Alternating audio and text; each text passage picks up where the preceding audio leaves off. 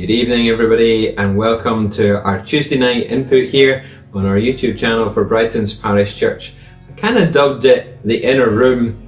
Um, wasn't really sure what else to call it, to be honest, because tonight is a little bit different from what we've done on other occasions.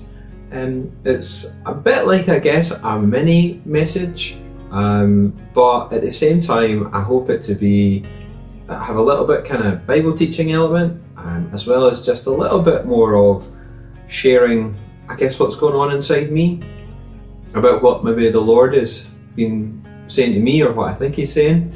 Um, and so I, I kind of just want to share a little bit from the heart.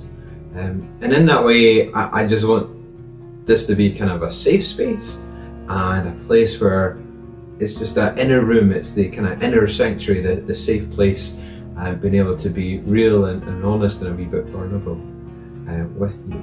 So, the inner room, if it ever happens again, it might get a new name, but uh, had to come up with something, so that's why I came up. Welcome anyway to this time together, and it's really great to have you. Please do say hi if you're there on the live chat and have the means to do so. Um, and if you're listening back to this on a recording or on a telephone, thanks as well for putting in the time to tune in and uh, have a listen or watch to this particular video. So tonight, as I say, meant to be a little bit of a heart to heart, a little bit sharing from the scriptures. Um, and I guess what has led to this has been a journey for me over the last well, six to eight weeks, I guess. It started before Christmas, and I think was prompted a little bit by being aware that towards the end of January I'd be coming up to the end of my second year, going into third. Um, that there's developments on the go with the Braes Hub.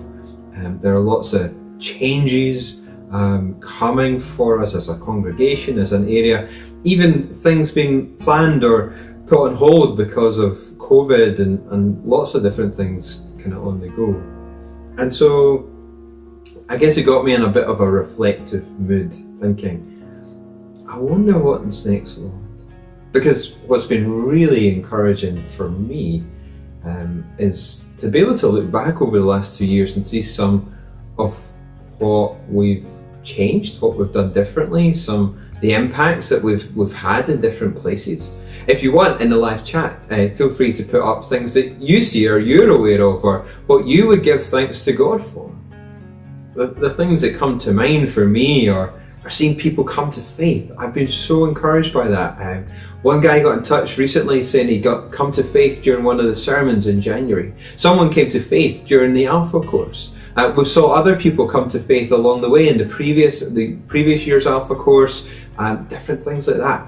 I am so encouraged when people say, "I have chosen to follow Jesus," and that's great to see because not every church is seeing that.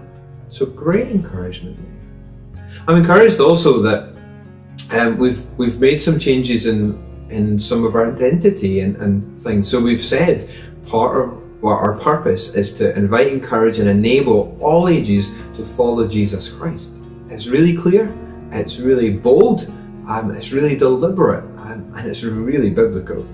So I'm super excited about where that might take us on a journey together. And as part of that, we've also said, well, here are four values that go with this that kind of put some flesh on the bones um, that kind of say, well, this is part of our DNA. We know what our purpose is, but what's also part of our DNA? What's the, some of the essence of, of Brightons um, and where we're going within that broad purpose? And so we have our four values. And it's been great fun just to tune into to that, to talk it through with the teams and the different teams we have in our Kirk sessions, Kirk session and Deacons Court, as well as to hear people's hopes and dreams for 2021.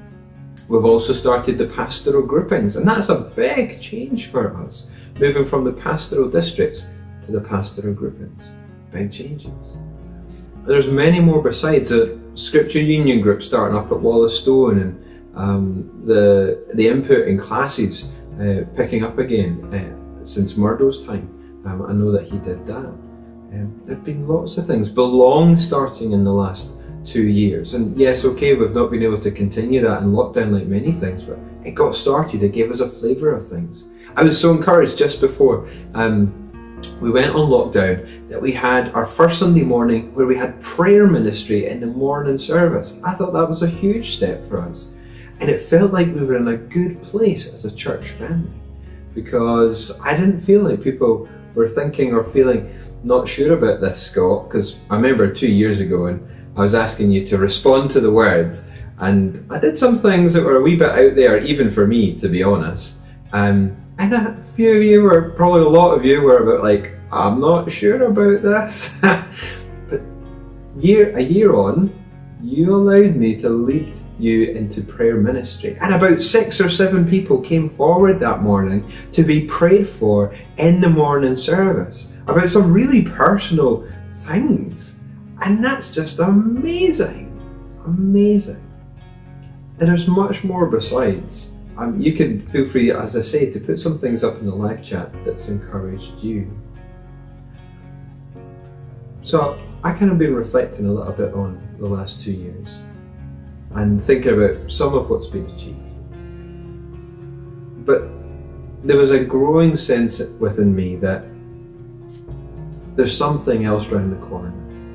And yes, we've done all these things. Yes, we've seen Huddle start uh, an initiative through the discipleship team, and you'll hear more about that in the coming weeks. So listen out for Huddle. Um, but my sense was there was something more that and there's more around the corner for us as a congregation. And part of what I want to share tonight is around that. Uh, this is unscripted, uh, other than some bullet points and notes. Um, so we'll see what comes. But before we get into that, and before we turn to God's Word, let's pray. Okay? Let's pray together. My God and Heavenly Father, we do give you thanks for all that we've seen of you in the last two years that even in the midst of lockdown and a pandemic, Lord, you've been at work in us and through us. And before this time, Lord, before this season, you were at work in ways that were, were great and so worthy of praise. And so we want to lift our voice up and glorify you and give you the thanks and the honour. But Lord, we're on a journey. We're on a journey together. That's part of one of our values of, of being family, a community journeying together towards wholeness. And Lord, we're never complete this side of heaven, so there's always more. There's always a next step. There's also always something around the corner. So as I share, Lord, uh, from your word and what you've been, I think, saying to me, Lord, give us ears to hear you, not me, Help us to hear you. As John said, uh, John the Baptist, may the speaker decrease and Jesus of Nazareth increase. For we do say and, and pray all this for his glory and in his name. Amen. So if you will, turn with me in your Bible, whether hardback or electronic, uh, to Acts chapter 15. Acts chapter 15. Uh, prior to this point, the church has been going through phenomenal growth. Um, Peter's had that vision uh, at, at Cornelius's house, that's led him to Cornelius's house. Uh, the church has grown. Um, Peter's miraculous escape from prison. Barnabas and Saul have been sent off on a missionary journey and they've seen God do incredible things, and the church is grown in different places, and, and then they they come back um, to um, to uh, Antioch, and um, they've spent quite a bit of time there. And so, chapter 15, verse 1, we read this. Certain people came down from Judea to Antioch and were teaching the believers Unless you are circumcised according to the custom taught by Moses, you cannot be saved. And if you've been reading through Galatians, you'll start to get your antennae uh, picking up here in our New Testament reading plan. Anyway, verse 2. This brought Paul and Barnabas into sharp dispute and debate with them. So Paul and Barnabas were appointed along with some other believers to go up to Jerusalem to see the apostles and elders about this question. The church sent them on their way, and as they travelled through Phoenicia and Samaria, they told how the Gentiles had been converted. This news made all the believers very glad. When they came to Jerusalem, they were welcomed by the church and the apostles and the elders, to whom they reported everything God had done through them. And then we're going to jump on to verse 24. Prior to this, in the in between time, they've done a report, and there's been lots of debate and conversation, um, and then um, James um, gets up and, and he, he says, in response to this, that uh, he thinks they should do certain things and say certain things to the believers in Antioch and other uh, other areas who have come from a Gentile background. And so they decide to write a letter, and what we're about to read is part of that letter, verse 24. We've heard that some went out from us without our authorization and disturbed you, troubling your minds by what they said. So we all agreed to choose some men and send them to you with our dear friends Barnabas and Paul, men who have risked their lives for the name of our Lord Jesus Christ. Therefore, we are sending Judas and Silas to confirm by word of mouth what we are writing. It seemed good to the Holy Spirit and to us not to burden you with anything beyond the following requirements. And then they detail some things and say farewell and send these gentlemen off back down to Antioch with the letter. And it brings great encouragement to the people if you read on into verses 30 and 31. So Amen. And thanks be to God for this reading from His Word. I came across um, this passage as I was reading a book about discerning the will of God together. It's by a lady called Ruth Haley Barton, and I'd encourage you to have a look at it. It's a phenomenal read, quite a revolutionary way, really, of doing uh, a discernment as a congregation. A lot to share not something you could implement straight away. I think it would take some time, months if not years, to get to that place as a community where you could put it fully into practice. But it gave me quite a few food for thought, quite a bit of food for thought. And she points out in her book that, that in this passage, uh, that circumstances arise which God utilizes for the furtherance of his mission for the spread of the gospel, for the building up of his church. And, and it arises in the midst of, of a very difficult situation, even conflict. Uh, and yet it's used and, and it's in the midst of that and trying to decide how to respond and what's next, what's the right way. We were thinking about um, in Jim's uh, preaching on Sunday, what is the way of Jesus? They were trying to think, well, what is the way of Jesus for these Gentile believers. And so they discuss, and I presume they pray as well. Because in their letter, and um, I think it's also there in the earlier passage which we skipped over, um, we get this these words, it seemed good to the Holy Spirit and to us. I just think that's incredible what they say. A real sense that the Holy Spirit was teaching them, leading them in that way. Um, in the way of Jesus and, and guiding them in that moment.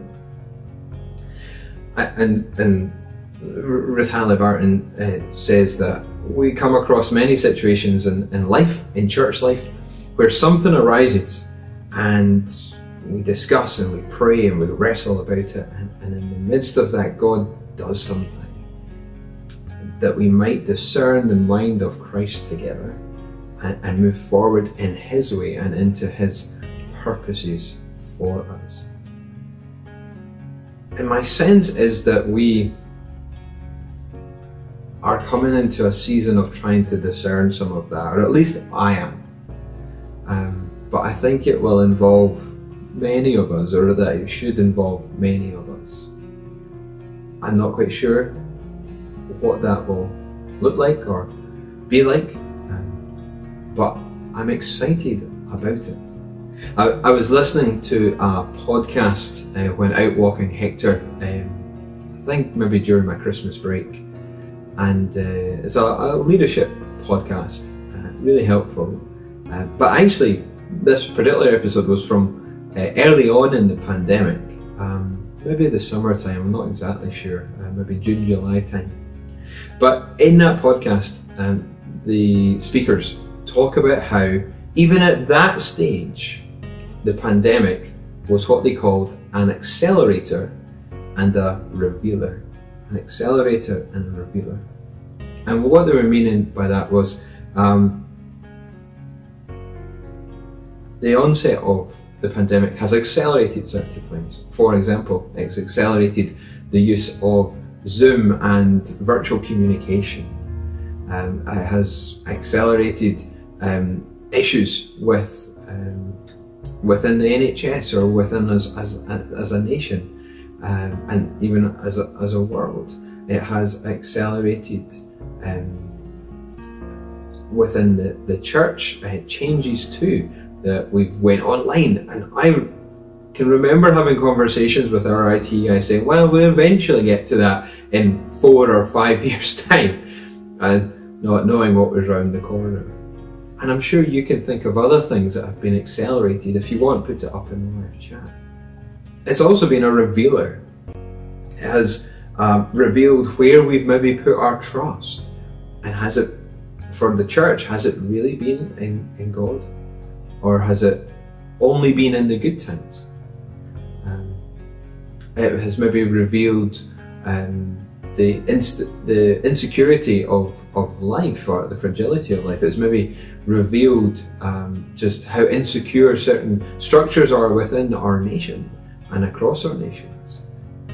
So much has been accelerated and revealed. And again, if, if there are things revealed um, that could pop up for you, um, please do again share it in the live chat.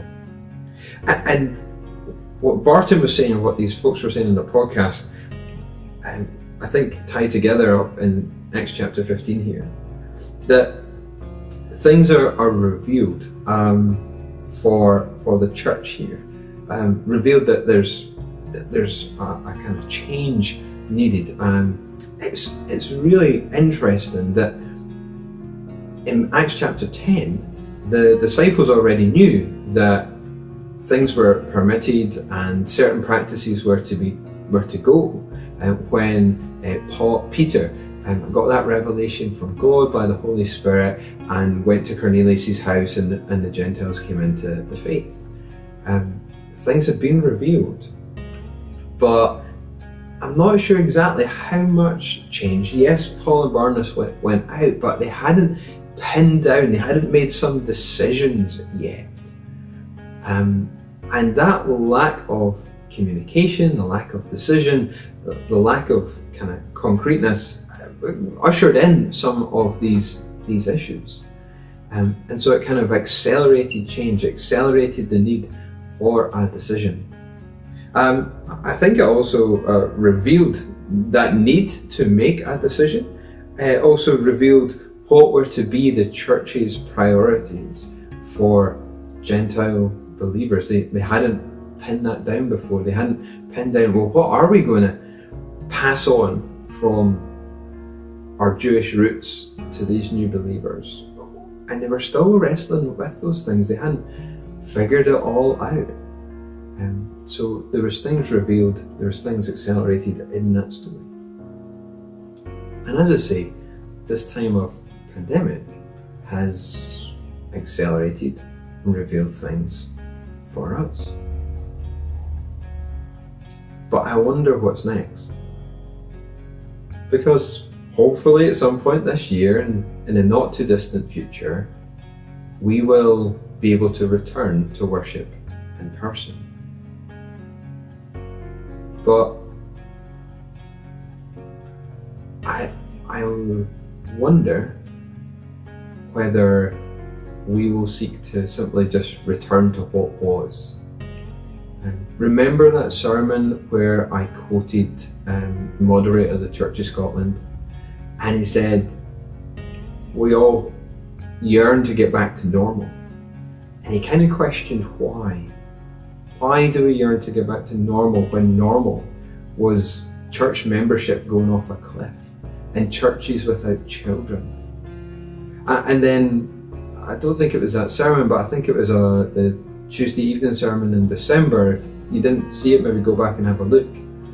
Where I talked about the Brighton situation. That okay, yeah, we've seen people come to faith, and we do have a number of contacts with children and families. But if you look at our demographics, we are declining even within Brightons. Our membership is going down compared to what it was. Our demographic is getting older, and, and is, if you look five, ten years down the road, unless things change dramatically, we're going to have some really tough times. And we're going to have to think about what are we going to stop doing because we just can't sustain what we are doing just now. And so maybe again that's part of why I was thinking, what's next, Lord? You've taken us this far, we've reached this stage together. What's next? And I don't have an answer to that. I don't know what you expect of, of my leadership um, as the minister. Um, I'm certainly not what you've maybe had before, clearly. You're certainly not what you maybe hoped or expected for. I'm not someone that's going to steady the ship. I'm probably going to rock the boat more often than not because that's what I think is needed in, in the church just now. Nationally, never mind just here in Brightons. But I hope within that rocking, I can also be a catalyst. I talked with the nominating committee, I think, about wanting to be a catalyst.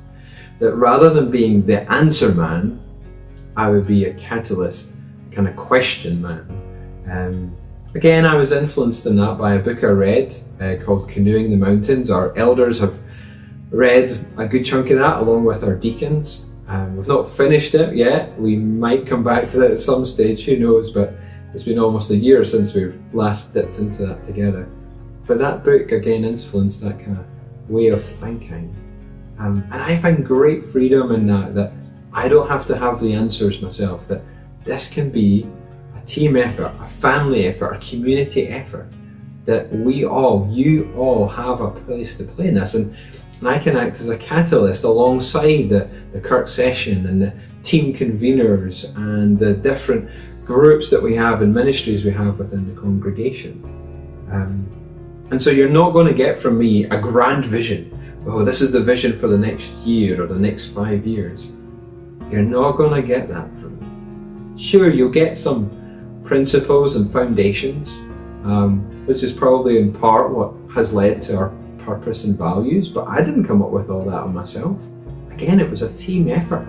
And it was taken to the Kirk session and unanimously voted on by the Kirk session that these should be our purpose and values. So I, I want to be a, a leader that enables and champions ideas rather than uh, the one has to come up with all the ideas. Nevertheless, I do think as part of that catalyst, part of my job is, is listening out to the Lord so that both in the preaching and in other ways, ways of leadership and, and influence, um, I can be part of kind of steering us forward. Because in crisis, not just in the pandemic, but let's be honest, folks, as a church, as the church in, in Scotland, not just the Church of Scotland, but the church in Scotland, we're in crisis largely.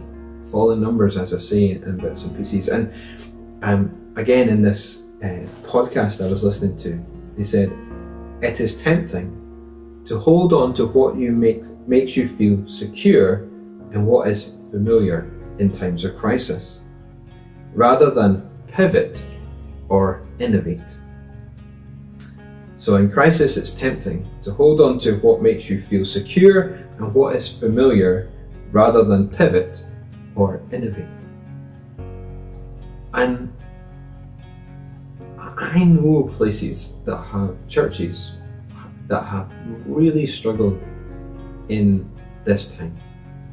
Uh, and yes, we all have, but in some ways they've struggled more because their ministers, their members have not been able to innovate um, or pivot in these times. And the sense of isolation is much greater than what we have. And I think folks are so hungry, much more than we might be, hopefully, uh, because we've been able to, to do certain things and provide certain things. We haven't got it perfect, clearly. There's always things we can do better. Um, but I think this is in my thinking because this crisis makes us want to turn in and feel safe. And, I wonder what happens later on in the year when, when we get back. And yes, there'll need to be a time of coming together, of being family, of reconnecting, and, and of, of celebrating that and valuing that. But the danger would be that we then get comfortable again um, and, and don't look out that we need to be looking out. And even in this time now to be looking out and, and thinking, well, where next, God? Where next? And in all of this, just last week actually, I believe it was only last week, um, I was sitting in this chair. I just read uh, the bit, I think it was Mark, chap- the final chapter of Mark, wasn't it, uh, last Monday?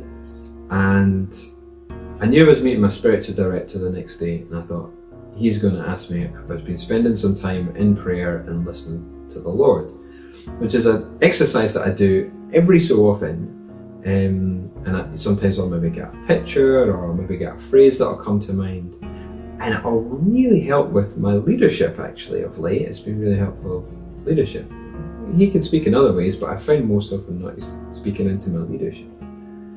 Um, and so like the last two years, there've been different things that, that for maybe a three or four month block. And so, I had my Bible reading, jotted down my thought or my prayer for the day as I encouraged you in the mini message. I thought, right, I'm going to spend some time in prayer and just see God says it. And He did. surprise, surprise. Uh, and I normally get a picture, but this time it was more a phrase. And the phrase was, it's time to tack and I knew it was about sailing, um, tacking and, and sailing. And I didn't really know why this had come to mind. At first, I thought God was correcting me, and that's a bit of my own insecurity. That I think as a young leader, um, I'm still guessing half the time. I'm probably most ministers, even with 30 years experience, probably still feel that they're guessing, but I definitely feel that I'm guessing half the time. Um, that's experimentation and it's life of faith and all that, but yeah, kind of feels like I'm guessing half the time. And uh, with guesses can come wrong things and make mistakes, and I have made mistakes in the last two years. Um, and so I thought, done something wrong. He's correcting me. It's time to tack. It's time to change direction. It's like, what have I done wrong? What needs to change? But I decided to do some uh, searching on YouTube actually. Oh, we're all on YouTube, aren't we? Uh, to some degree or another. And um, you get some nonsense on there. But I went looking for tacking because I didn't really know anything about tacking at all. But I watched a couple of short videos about tacking and about the physics of sailing. And some really startling and interesting things came up. So, uh, tacking is when the boat changes direction so as to be able to keep moving forward in a particular di rough direction. So if you're wanting to, to go that way, you're kind of tacking different angles to keep going in the rough direction, but you're cutting across um, the, the rough path so that you're doing a kind of zigzag to eventually get there. But what's interesting with tacking is you're sailing into the wind which I didn't know you could do. Like, sailing into the wind just sounds mental. How is that even possible? But apparently it is. It's partly possible because the boat has a keel and forces and vectors apparently apply. And the resulting is, the result of that is that you go forward. A couple of things that jumped out at me that people said. Um, you can actually go forward faster than the speed of the wind when you tack. So you're going into the wind, But because you're going at a particular angle and all the forces and physics that are involved, you can actually go faster than the wind. I find that crazy. Um, you can and you can go faster than the wind being blowing behind you, which I just thought was really startling. Um, what other things kind of jumped out at me? Um, just that general idea that it's into the wind, faster than the wind, um, and it, it's it's still going in a rough direction. You're keeping your course, but you're changing slightly so as to catch more of the wind. And um, because you've maybe run out of distance, you're getting near the shore, or you just need to change direction slightly. So it's not actually about having done something wrong. It's about keeping your course, but catching the wind so that you can do that and you can maintain kind of maximum speed almost. Um, and so, when thinking about this, talking about it with a few others, the sense of that it's it's about aligning, it's about God directing, guiding rather than correcting, came to the fore. Um, because he wasn't saying to change direction completely.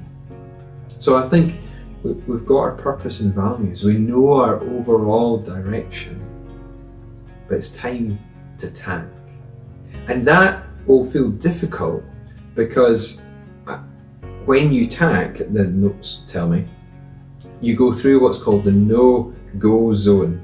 Basically, when you're turning into the wind, and that's when the, the wind, the sail starts flapping because the wind's on both sides of it and it's not properly catching the sail and the rigging is swaying a little bit and you kind of lose a little bit of momentum.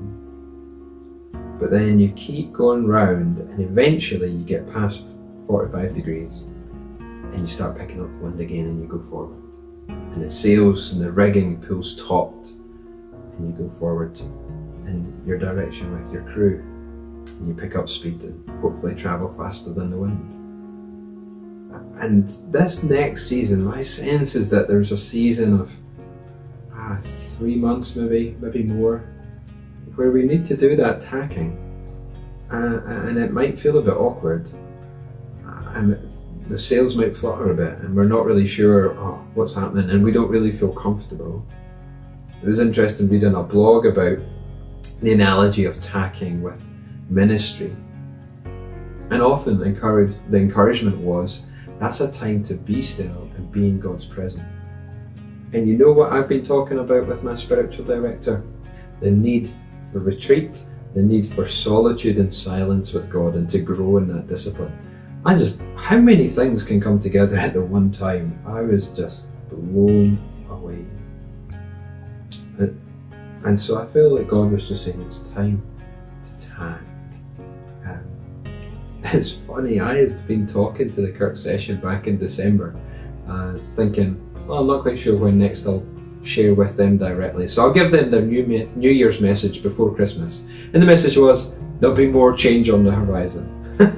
And uh, who was to know that, that God would give this word, it's time to tack. That in my reading, I would come across Acts 15, that in my time off, I would listen to a podcast talking about uh, this time being an accelerator and a revealer, and in times of crisis, uh, we want to buckle down and, and, feel safe, but actually we need to pivot, we need to tack, we need to innovate. Um, just all this coming together. And I want you to know where I'm at as your minister, as your leader. And some of you will find that really hard because you want a pastoral leader. You want to be made to feel safe. And there are times when I can do that, and do do that. There are times when I bring a measure of encouragement, uh, or try to at least. But we also need to pivot. We need to tack. We need to innovate. We're not out of this as a church yet. We're not out of our time of crisis. Even when the pandemic goes away, we still are faced with the situation that our membership numbers are off a cliff. We're barely seeing anyone come to faith. Numbers of children are dropping. It's going to be even harder young people and children have been away from church and church groups for so long. Will they come back? Who knows? Will the adults that we've been reaching out to come back? Who knows? So it's it's not time, I don't think, to buckle down and feel safe. It's time to tack. And we do that together. As I say, I'm not going to be your answer man. I'm not going to come up with a grand plan. We need to do this together. What does that look like? Here's a couple of ideas.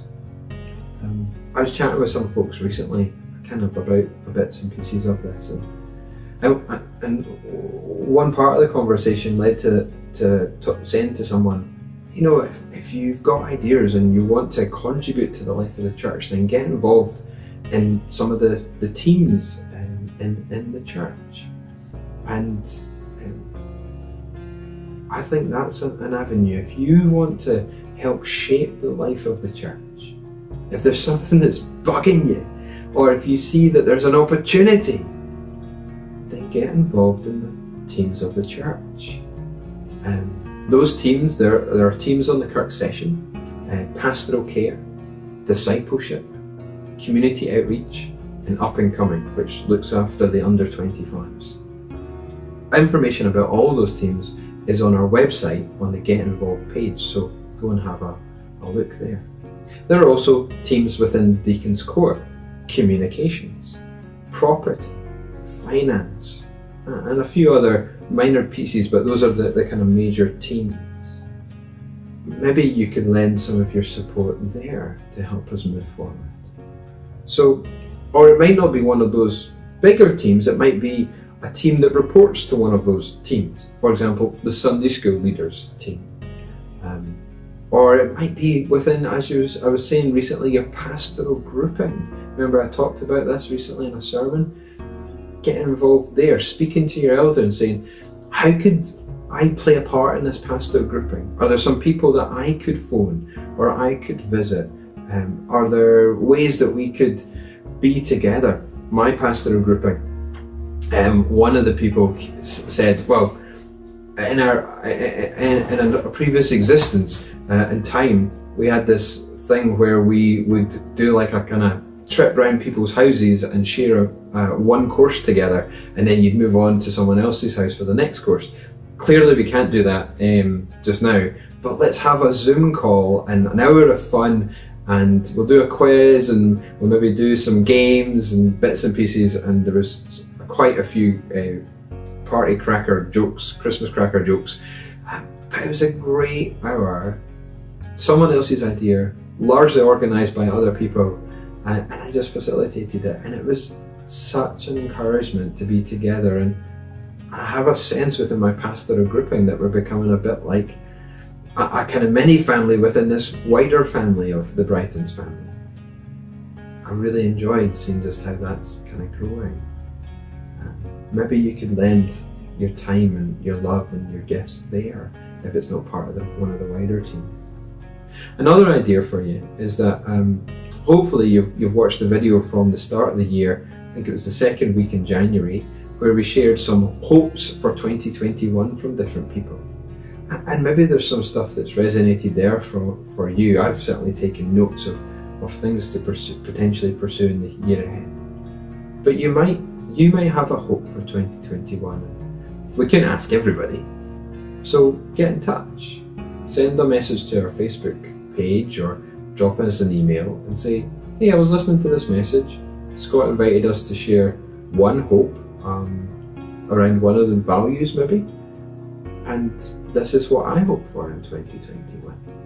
Um, clearly, if it's the same as what's been repeated in that video, there might be no need to, to email, but if there was something different or, or else, or you wanted to add to someone's idea, um, again, drop us an email saying, This is one of my hopes for 2021 for the Brightons church family.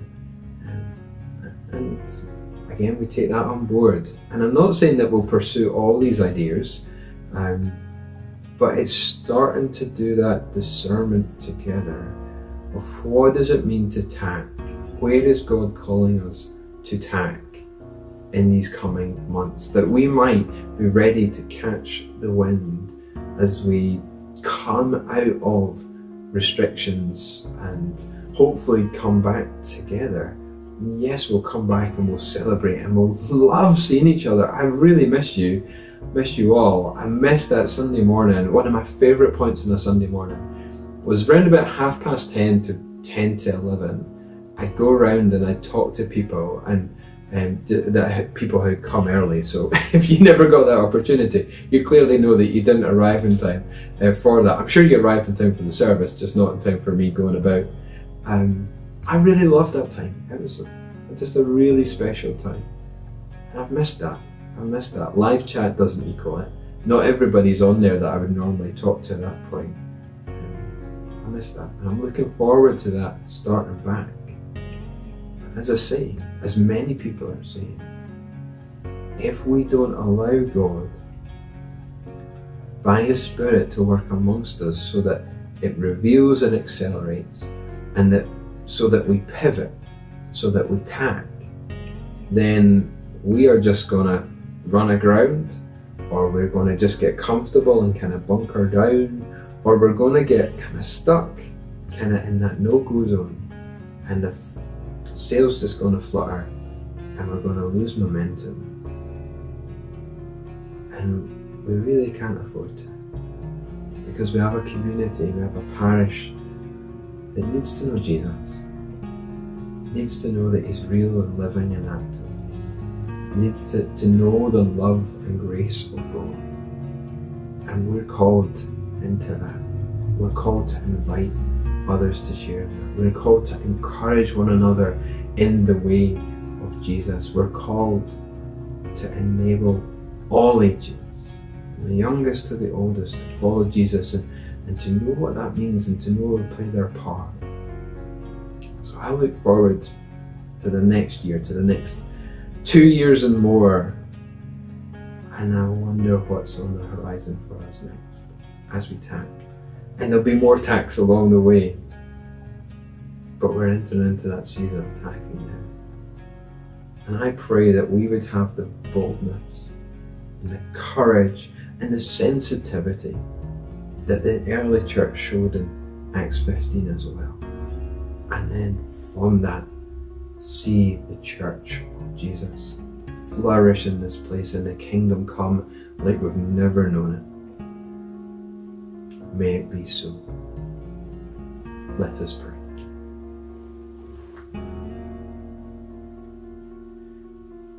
Our God and Heavenly Father, we thank you that you promise to never leave us nor forsake us, to journey with us by the Spirit. Jesus, you promise that your sheep will hear your voice and that the Spirit will lead us into truth and into life, that He will reveal you and your way. Help us, Lord, to be sensitive to the Spirit and to hear what you are saying to us as a community, to us individually, by your word and in the place of prayer. Lord, where things have been of me just blow them away. Let them not linger in our hearts and minds and cause unrest or lead us in the wrong direction. But where things have been of you, Lord, take it deep, keep it safe, and bring forth the harvest that would be to your glory. Lord, we seek your, your way and your will. Help us to be bold where we need to be bold. For we ask this in and through the name of Jesus.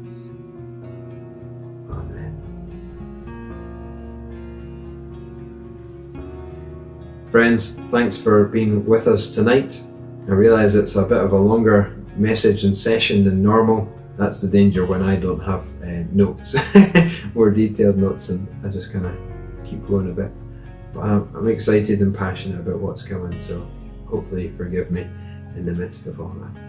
It's been really good to, to share in this time together. Look forward to our next time um, in one way or another. Um, next uh, week we'll have Testimony Tuesday, so join us then as folk share about their faith journey in various different ways and forms. We've got our Thursday prayer uh, back on Zoom this Thursday, uh, as, as well as on our YouTube channel. And then I'm back in preaching this Sunday morning as we continue in Philippians. So as we go from here, the blessing of God Almighty, Father, Son, and Holy Spirit be among you and remain with you, my dear brothers and sisters, this night and forevermore.